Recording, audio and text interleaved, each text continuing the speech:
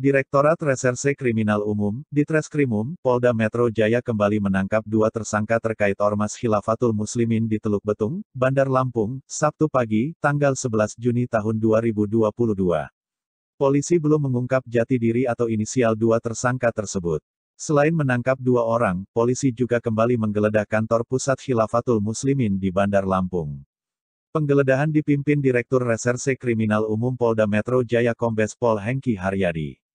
Menurut Hengki, kedua tersangka yang diamankan berperan sebagai pelaksana operasional organisasi, dengan peran masing-masing turut membantu perbuatan pidana oleh tersangka utamanya. Yaitu pimpinan tertinggi Ormas Khilafatul Muslimin, dengan rekam jejak sebagai terpidana yang salah satunya yaitu kasus pengeboman Candi Borobudur pada tahun 1985 hingga menjalani hukum penjara. Dalam penggeledahan itu polisi menemukan empat berangkas besi. Dalam berangkas tersebut ada uang 2 miliar rupiah lebih.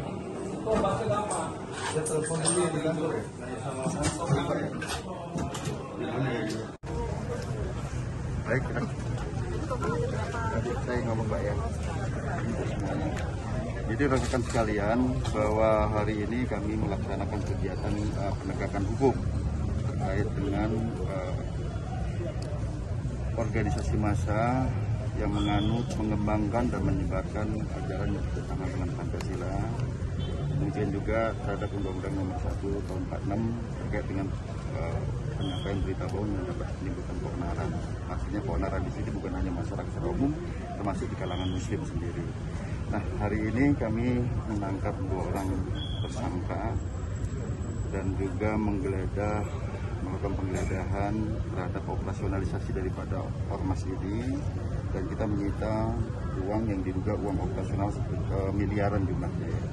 Dalam melaksanakan kegiatan kami didukung oleh rekan-rekan dari TNI bersama-sama dengan tokoh masyarakat dan juga para ulama uh, bahwa kami juga memberikan penekanan kepada mereka yang tadi sempat terjadi kesalahpahaman harus taat terhadap aturan negara Republik Indonesia.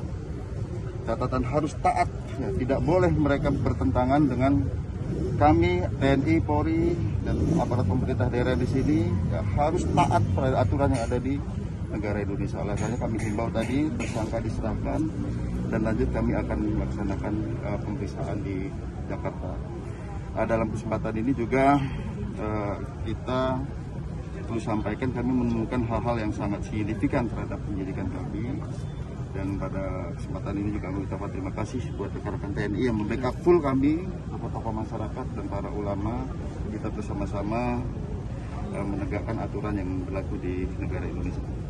Dua tadi inisial dan perannya seperti apa Pak? Ya intinya ini dua tokoh penting ya, bercatat penting di organisasi masa ini.